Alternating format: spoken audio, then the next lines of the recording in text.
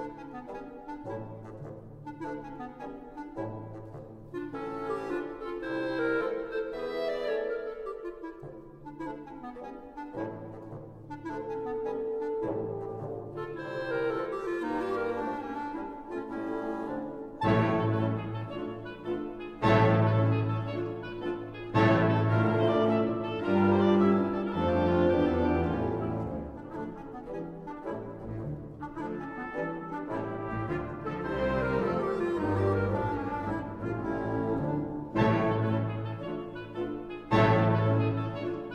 Morning.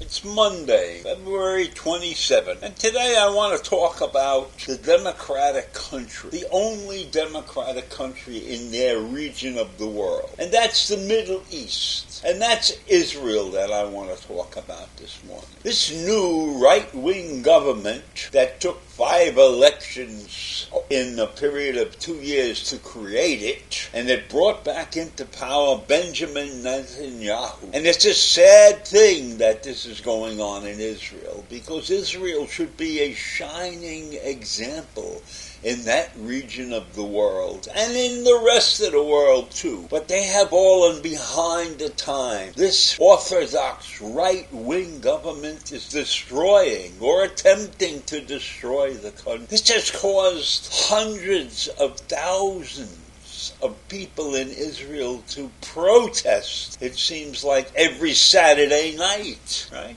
Thousands on Saturday protested the far right government's plans to overhaul the legal system. Three days after Parliament advanced a bill that would enable lawmakers to overturn a Supreme Court decision with a simple majority. That's madness. It's madness to allow a group of politicians to have anything remotely resembling power over a court system. Doesn't the government the right wing government realize that politicians have their own interests at stake? They do not have the interests of the people at stake for the most part. They're political animals. Their service is to their party, not to the law, not to what's right. Then they could not come to a reasonably good decision about anything that a Supreme Court rules. So the Supreme Court override bill has approval in a preliminary vote in the Knesset. And it's the latest step by Benjamin Netanyahu's ruling coalition toward creating this judicial overhaul that will ruin Israel's democratic system. So Netanyahu and his government are upset because they believe that the court has unchecked powers and they had that they have had unchecked powers for years and years and years. So now he wants to put a group of idiots in charge and that they will check the powers of the court and have their own unchecked powers. Is that what a democratic system is all about? Where you have checks and balances, but now Netanyahu's group is reducing the balances? Creating an imbalance by allowing a group of politicians to overturn court decisions? What's the point of having a court? Why don't they go directly to the politicians to solve these issues? If you're going to ruin the court system, you might as well ruin everything, which is what they are attempting to do. So the good thing about all of this is that for eight weeks, the public, the Israeli citizens have been protesting and this protest has gained momentum. And large sectors of Israeli society and businesses are joining these protesters. This is not just a small group of right, of left wing protesters. This is a group of people who want this country to remain democratic.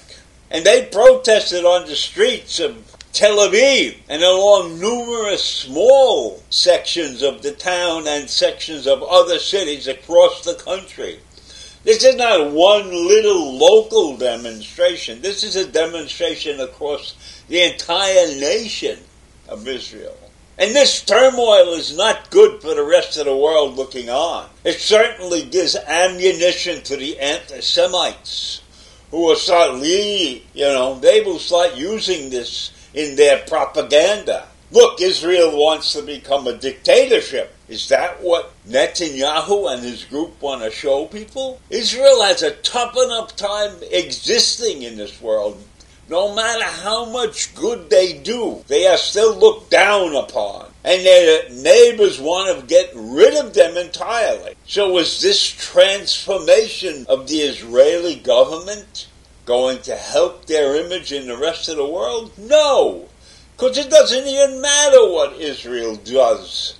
Their goodness is never really appreciated except at the moment that it happens. Soon as they leave the scene of the accident or the scene of a terrible event, they are forgotten, and anti Semitism rises to the surface constantly. So to me, this override bill is just giving ammunition to those who hate the Jews. This is not very smart. It's not very good. But of course, I don't believe that Netanyahu and this political hard right wing organization that has brought him back into power recognizes that. They're in it for their own selves, for what they believe in, their staunch orthodoxy, perhaps. Whatever it is that they believe in, they don't realize they are ruining the image of a great country. A great country that has accomplished much in its short life. And now they want to drag themselves down into the pits of hell. Why? Why? What has their Supreme Court ruled that the right wing is so upset about? They certainly haven't done a bad job. I don't believe it. I think it's a disgrace what's going on in Israel right now. And obviously, the majority of the population in Israel thinks it's a disgrace also. So I leave you with that this morning. A great country on the verge of ruin because it took them five elections to bring back somebody who didn't deserve to be elected in the first place. And let us not forget that this battle with the court system is a personal battle for Netanyahu because he is under fire for illegal activities. And maybe in the back of his mind is that if he can get the court system adjusted, he will not face the penalties for the criminal activities that he perpetrated. So I leave you with all of that this morning. A terrible situation in the Middle East, and I see no easy way out except for another election, and that would be the sixth election in three years. Have a great day. Bye.